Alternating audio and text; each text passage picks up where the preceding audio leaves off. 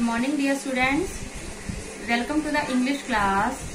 Today in English class we will do lesson 1. Students in lesson 1 there are some question answers. You have to see the pictures and tell me the answers. Okay, so let's start. Question number 1. Find the picture that shows only the teacher standing. Students, see these all pictures and tell me in which picture shows only the teacher standing? Yes, very good. In the picture number 3. Very good. So your answer is in picture number 3. Now your second question is Find the picture with three children holding a book.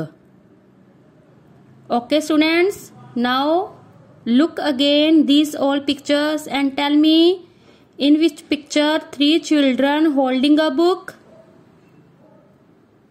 Yes, well done. Very good. In the picture number 4. So your answer is in the picture number 4. Your third question is Find the picture with welcome written on it.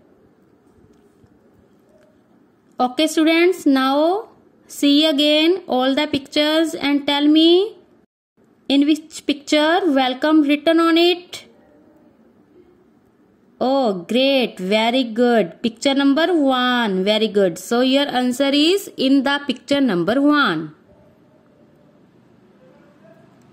Okay students, now in your homework do this all work on your English notebooks. Okay, bye bye.